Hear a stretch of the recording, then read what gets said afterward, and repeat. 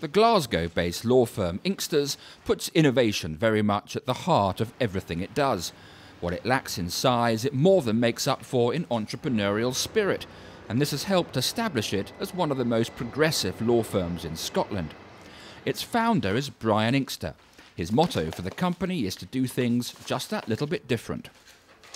It's easy just to sit uh, on your laurels and not do anything and just work away with the legal work day in, day out and not think about the fact you're running a business. And so we're always striving um, to look at new ideas and improve the level of service that we can provide. Uh, and that's something that I, you know, I'm constantly thinking about and looking at and seeking to develop uh, as best we can. It's a policy that's helped the company increase its profits by over 80% in the last two years. To understand the backbone to this success, we need to come here, to Shetland, Brian's birthplace. When Brian established his law firm, all his clients were Shetlanders, but even so, he made the strategic decision to open his office in Glasgow, creating a professional distance between solicitor and client.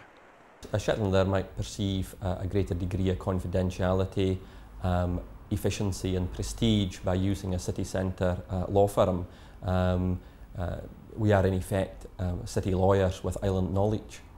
So we have a balance between understanding the clients, knowing where they're coming from, what they want to achieve, but maintaining at the same time an element of professional distance and academic caution so that we can give them a more objective viewpoint and in some cases the, the note of reality that they need to hear sometimes. Every now and again, Brian returns to Shetland to visit his clients. He's the seventh child of a Shetland fisherman, so he has an innate appreciation of life in a rural community that gives him an advantage over his competitors in various local matters. For example, it may be hard for an outsider to understand the legal complexities of crofting law, since it's not taught in law colleges and universities. His clients realise the benefit of appointing a solicitor with whom there is a geographical affinity. Brian speaks the same language as us. We, we uh, have a different point of view here in Shetland. Uh, uh, we, we sit on a lump of rock in the middle of the ocean and quite exposed to the elements. And uh, so having somebody who actually um, has the same frame of mind as, as you and uh, the same uh, outlook uh, is, is very important to, to, to us and getting an understanding of the issues and problems Inksters is now one of the first ports of call on most crofting matters in Shetland. And through recommendations and referrals, the company now handles similar cases all over Scotland. It's an expertise founded on local knowledge, but where the benefits are now reaped nationwide. To prove the point, Shetland cases now make up only 60% of Inkster's total legal work, the rest coming from across the mainland. This would never have happened had Brian established his business in Shetland. The company provides all the services you'd expect from a city law firm. And as it grows, being in Glasgow means Brian has access to a bigger pool of young lawyers. It's in his use of technology, however, that Inksters is set apart from the competition. In Scotland, law firms can also act as estate agents and are therefore members of the local solicitors' property centres. In the Glasgow area, all properties for sale appear on the GSPC website. But Inksters puts properties for sale on its own website as well, and in the case of Shetland, breaks the islands down into postcodes for more localised searches.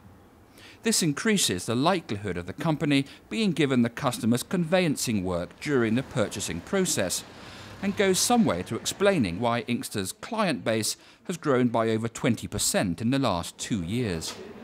Many solicitor estate agents um, might not um, devote the time that they should to the estate agency side of the business and they might rely too heavily on the local solicitor's property centre rather than looking at ways that they can enhance the service to the client themselves.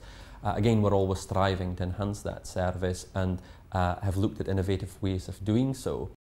Inksters uses modern technology to improve its customer service. It's the first estate agency to allow people to note their interest in a property online and the first in Glasgow and Shetland to give people the opportunity to have information on properties near to where they're standing sent direct to their mobile phones, saving time for company and client. Embracing change and innovation such as this may be difficult for law firms that have a rigid partnership structure, something Inksters is keen to avoid. There's not various strata of decision making, there's not any middle managers, there's no uh, endless amounts of admin to be able to get a decision. We can go straight to Brian, tell him something we're thinking about, he'll think about it, he'll come straight back. And that allows us to uh, move very rapidly to a changing situation very quickly. Brian Inkster is a solicitor with island roots and a big city mindset. Traditionally, the law and innovation are not natural bedfellows, but here is a company with the foresight and wherewithal not simply to identify opportunities for innovation, but to act on them.